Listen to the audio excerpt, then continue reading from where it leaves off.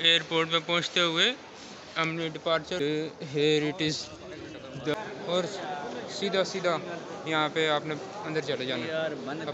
और आज हमारी फ़्लाइट है, जा रहे हैं Saudi Arabia we are at Islamabad international airport और अच्छा सबसे पहले आप वहाँ से इंटर होते हो और यहाँ पे यार कहीं भी आपको पार्किंग मिले तो आपने अपनी गाड़ी पार कर देनी है। और हाँ और ये तेरह, चौदह, पंद्रह नंबर है। अपनी पार्किंग का याद रखना बहुत लोग, फिर मसला हो जाता है गाड़ी ढूँढने में। अच्छा बहुत नीट एंड क्लीन एयरपोर्ट है। साफ़ सुथरा, सफ़ाई है बहुत ज़्यादा इसमें और बहुत इजीली एक्सेस है हर चीज़ की।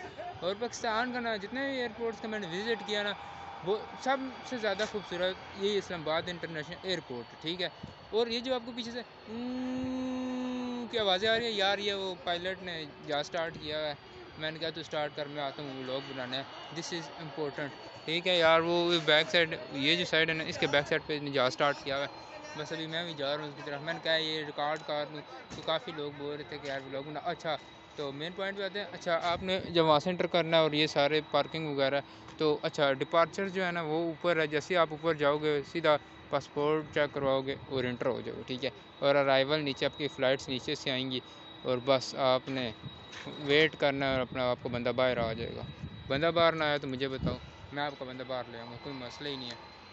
एयरपोर्ट पर पहुँचते हुए हमने डिपार्चर ऊपर करना है अराइवल नीचे है।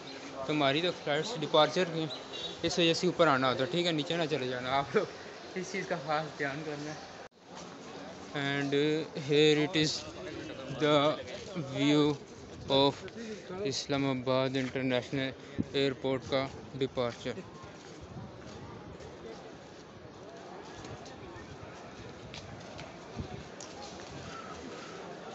आपने सिंपल क्या आपने उधर से इंटर होना है और सीधा सीधा यहाँ पे आपने अंदर चले जाना